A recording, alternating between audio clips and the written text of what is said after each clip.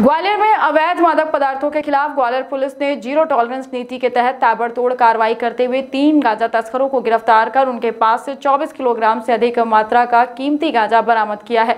वहीं जब्त किए गए गांजे की कीमत लगभग चार लाख इकहत्तर हज़ार रुपए बताई जाती है।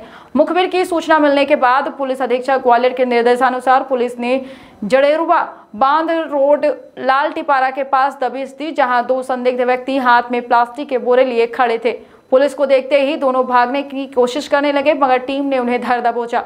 जिनकी तलाशी लेने पर कुल 17 किलोग्राम गांजा, जिसकी कीमत चार लाख बताई जाती है, उसे जब्त किया गया।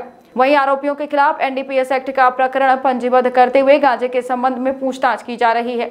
पड़ाव निरीक्षक विवेक आस्थाना के नेतृत्व में पुलिस टीम ने रेलवे स्टेशन प्लेटफॉर्म नंबर चार के बाहर माल गोदाम के पास से एक अज्ञात व्यक्ति की तलाशी ली, जहाँ सात किलो सौ ग्राम गांजा बरामद हुआ, जिसकी कीमत करीब इकहत्तर हज़ार रुपए बताई जाती है। उसे पुलिस ने जब्त किया और आरोपी से गांजे के संबंध में पूछताछ कर रही है।